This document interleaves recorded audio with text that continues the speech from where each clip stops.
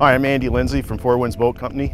Today I'd like to show you the new V255 Vista seating, the versatility and the combinations you can use when you're out boating on the water.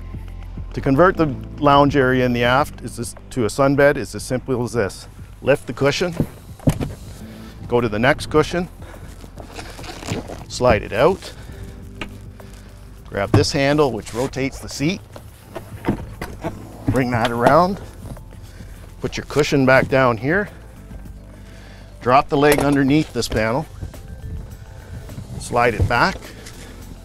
Go to your head backrest here on the aft of the boat. Bring it forward. Fold it into place. Simple as this.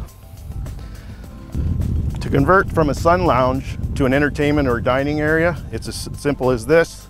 You raise this backrest up, put it into place. You come over here, table mounts here, and you're ready to go.